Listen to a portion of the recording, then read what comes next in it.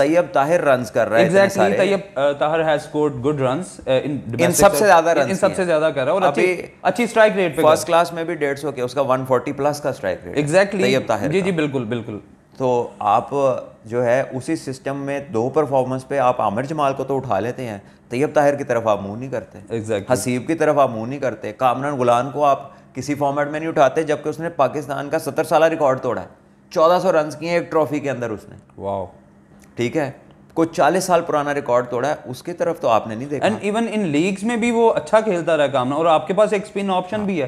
तो बात यह है कि जब आपकी पिक एंड चूज़ इतनी एविडेंट है कि आप फेवर्स देते हैं हम्म,